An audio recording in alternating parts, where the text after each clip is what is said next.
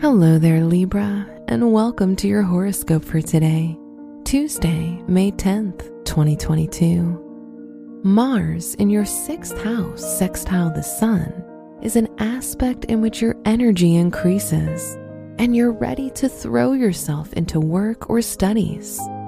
There might be friendly competition between you and your colleagues or fellow students, resulting in efficient work that's executed well.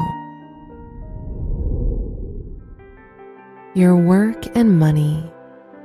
You're all about balance, and with the South Node in your second house, you may achieve it, at least in your finances. Lessons you learned from the past can now serve you to help you make some wise financial decisions. Your health and lifestyle. Your health is excellent thanks to Jupiter, which is helping you feel perky and optimistic. However, since it's a planet that expands whatever house it touches, placement in your sixth house of health might make you prone to indulge in food and drink. Your love and dating. Your partner will make you feel centered and loved if you're in a relationship. If you're single, you might neglect your dating life and instead focus more on work. If you organize your time and schedule well, you will have space for dating. Wear an amber shade for luck. Your special stone is smoky quartz, which can help you find emotional balance. Your lucky numbers are 9, 16, 28, and 51.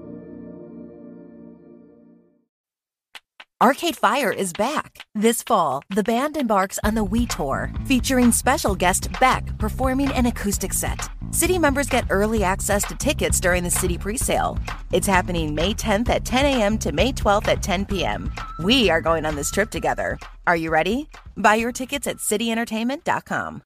This is an ad for Roundup Weed and Grass Killer with Sure Shot Wand. It kills weeds down to the root so they don't come back. It works for you, your neighbor, your neighbor's neighbor, and his neighbor's neighbor. It's Roundup Weed and Grass Killer with Sure Shot Wand. When used as directed, always read and follow pesticide label directions. From the entire team at Optimal Living Daily, thank you for listening today and every day and visit OLDpodcast.com for more inspirational podcasts.